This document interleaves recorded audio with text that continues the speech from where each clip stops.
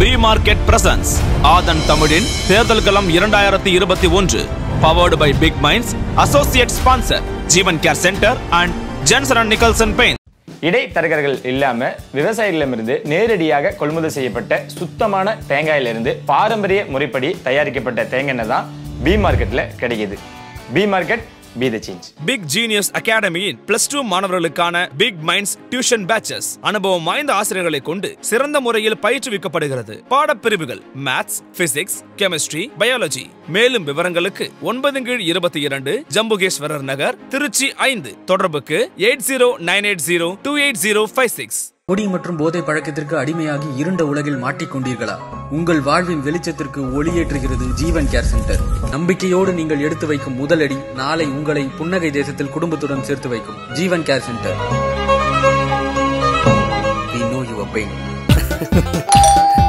டக்குனு காயும் நச்சுன்னு ஜொலிக்கும். Jensen and Nicholson quick drying PU enamel Jensen and Nicholson Paints. இரண்டாயிரத்தி இருபத்தி ஒன்று சட்டமன்ற தேர்தல் தொடர்பாக பல சிறப்பு தொகுப்புகளை ஆதன் தமிழின் தேர்தல் களம் பகுதியில் வெளியிட்டு வருகிறோம். இந்த வரிசையில் உங்கள் தொகுதி எம்எல்ஏ தொகுதிக்காக என்னென்ன செய்திருக்கிறார் என்பது குறித்து அலசுகிறது இந்த தொகுப்பு. இந்த காணொலியில் எம்எல்ஏவான அதிமுகவின் பொள்ளாச்சி ஜெயராமன் தொகுதி மக்களின் நலனுக்கு என்னென்ன திட்டங்களை செயல்படுத்தியிருக்கிறார் என்பது குறித்து விரிவாக பார்க்கலாம். இவர் பொள்ளாச்சி அருகே உள்ள திப்பம்பட்டியில் ஆயிரத்தி தொள்ளாயிரத்தி ஐம்பத்தி மூன்று ஜூன் ஏழாம் தேதி அன்று வரதராஜு சரஸ்வதி ஆகியோருக்கு மகனாக பிறந்தார். கடந்த இரண்டாயிரத்தி ஒன்றாம் ஆண்டு சட்டமன்ற தேர்தலில் பொள்ளாச்சி தொகுதியில் போட்டியிட்ட ஜெயராமன் முதல் முறையாக வெற்றி பெற்று தொழில்துறை அமைச்சராக நியமிக்கப்பட்டார். பின்னர் இரண்டாயிரத்தி நான்காம் ஆண்டு உணவு மற்றும் கூட்டுறவுத்துறை அமைச்சராக நியமிக்கப்பட்டு இரண்டாயிரத்தி ஆறாம் ஆண்டு வரை பொறுப்பு வகித்தார். இரண்டாயிரத்து ஆறாம் ஆண்டு நடைபெற்ற சட்டமன்ற தேர்தலில் அதிமுக சார்பில் மீண்டும் பொள்ளாச்சி தொகுதியில் போட்டியிட்டு வெற்றி பெற்றார் ஜெயராமன். இரண்டாயிரத்தி பதினோராம் ஆண்டு சட்டமன்ற தேர்தலில் உடுமலைப்பேட்டை தொகுதியில் போட்டியிட்டு வென்ற இவர் மீண்டும் கடைசியாக நடைபெற்ற இரண்டாயிரத்தி பதினாறாம் ஆண்டு சட்டமன்ற தேர்தலில் பொள்ளாச்சி தொகுதியில் போட்டியிட்டு வென்றார். தொகுதியில் அதிகப்படியான மக்கள் செல்வாக்கு உள்ள இவர் பல்வேறு நலத்திட்டங்களை செய்துள்ளார்.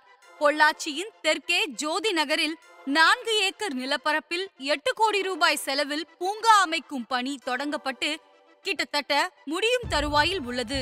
அதிநவீன வசதிகளுடன் அமைக்கப்பட்டு வரும் இந்த பூங்காவில் ஒரே நேரத்தில் ஆயிரம் பேர் வரை சுற்றி பார்க்கும் வகையில் பெரிதாக அமைக்கப்பட்டுள்ளது. பொள்ளாச்சியில் ஏழை மாணவர்கள் தனியார் பள்ளிகளில் பல ஆயிரம் ரூபாய் கல்வி கட்டணம் செலுத்தி படிப்பதற்கு சிரமப்பட்டு வந்தனர். ஏழை மாணவர்களின் நலனுக்காக எட்டு கோடி ரூபாய் செலவில் அரசு கலை மற்றும் அறிவியல் கல்லூரி ஒன்றை அமைத்துக் கொடுத்துள்ளார்.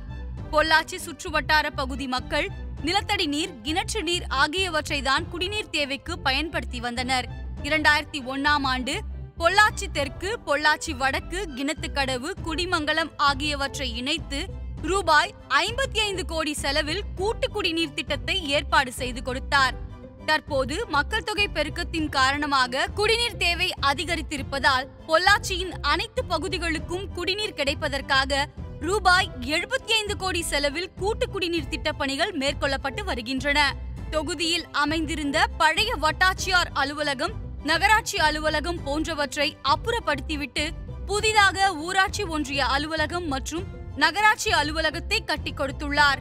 பொள்ளாச்சி பகுதி வழக்கறிஞர்களின் நீண்ட நாள் கோரிக்கையை ஏற்று அங்கு மூன்று ஏக்கர் நிலப்பரப்பில் முப்பத்தி ஐந்து கோடி ரூபாய் செலவில் ஒருங்கிணைந்த நீதிமன்ற வளாகம் அமைக்கப்பட்டு வருகிறது. பொள்ளாச்சியில் ஒன்பது மாடிகள் நானூறு படுக்கைகள் கொண்ட பொது மருத்துவமனை ஒன்று கட்டப்பட்டு வருகிறது. அதன் பணிகள் ஏறத்தாழ முடியும் தருவாயில் உள்ளது. மேலும் கர்ப்பிணி பெண்களுக்கு வேண்டி தனியாக ஆறு மாடிகள் கொண்ட மருத்துவமனை ஒன்று கட்டப்பட்டு வருகிறது.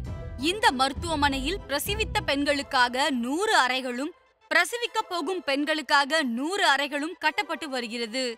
பொள்ளாச்சி தொகுதி மக்கள் திருவிழா காலங்களில் போக்குவரத்து நெரிசலில் சிக்கி தவிப்பதை உணர்ந்த ஜெயராமன் முப்பத்து நான்கு கோடி ரூபாய் செலவில் சாலை விரிவாக்க பணிகளை மேற்கொண்டுள்ளார். தொகுதிக்கு உட்பட்ட மரப்பேட்டையில் சாலை அமைக்கும் பணி மற்றும் பாலம் அமைக்கும் பணிகள் நடைபெற்று வருகிறது. மேலும் பொள்ளாச்சி கிழக்கு புறவழிச்சாலை அமைக்கும் பணிகளும் முடிவடைந்துள்ளன. பொள்ளாச்சியில் இருக்கக்கூடிய தென்னை நார் தொழிற்சாலைகள் காயற்பித்து தொழிற்சாலைகள் ஆகியவற்றில் உற்பத்தி செய்யப்படும் பொருட்கள் சீனா உள்ளிட்ட சில நாடுகளுக்கு ஏற்றுமதி செய்யப்பட்டு வருகின்றன. இந்த பொருட்களை தூத்துக்குடி மற்றும் கொச்சின் துறைமுகங்களுக்கு விரைவாக கொண்டு செல்லும் வகையில் நான்காயிரம் கோடி ரூபாய் செலவில் ஆறு வழி சாலைகள் அமைக்கும் பணி நடைபெற்று வருகிறது. பொள்ளாச்சி பகுதிக்கு உட்பட்ட அனைத்து கிராமங்களிலும் மண் சாலைகள் அனைத்தும் தார் சாலைகளாக மாற்றி கொடுத்துள்ளார் பொள்ளாச்சி ஜெயராமன். பொள்ளாச்சி மேற்கு பகுதியில் உள்ள தேவம்பாடி வலசு குளத்தை தூர்வாரி அதில் கிடைத்த வண்டல் மண்களை விவசாயிகளின் நிலங்களுக்கு வழங்கியுள்ளார். மேலும் கோதவாடி குளத்தின் கரைகளை உயர்த்தியதோடு மட்டுமல்லாமல் அதை பராமரித்தும் கொடுத்துள்ளார். பொள்ளாச்சியின் மேற்கு பகுதியில் உள்ள கோரையாறு கோதவாடி ஆறு சூலக்கல்லி ஆறு போன்ற மூன்று ஆறுகளின் நீரானது அரபிக்கடலில் சென்று கலப்பதை தடுக்கும் வகையில் இந்த ஆறுகளின் குறுக்கே இருபத்தி எட்டு தடுப்பணைகள் கட்டப்பட்டு வருகின்றன. பொள்ளாச்சி சமத்தூர் ராம ஐயங்கார் நகராட்சி மேல்நிலைப் பள்ளி மற்றும் நகராட்சி ஆண்கள் மேல்நிலைப் பள்ளியில் இரண்டு ஸ்கேட்டிங் கிரவுண்டுகள் அமைக்கும் பணிகள் நடைபெற்று வருகிறது. பொள்ளாச்சி கோட்டூர் ரோட்டில் நகராட்சி பெண்கள் மேல்நிலைப் பள்ளியை ஐஎஸ்ஓ தரத்தில் அமைத்து கொடுத்துள்ளார். பொள்ளாச்சி சுப்பிரமணிய சுவாமி கோயில் ஹரிவரதராஜ பெருமாள் கோயில் ஆகியவை நீண்ட நாட்களாக குடமுழுக்கு காணாமல் இருந்தது. பொதுமக்களின் கோரிக்கையை ஏற்று அவற்றில் குடமுழுக்கு செய்ய ஏற்பாடு செய்து கொடுத்துள்ளார் ஜெயராமன்.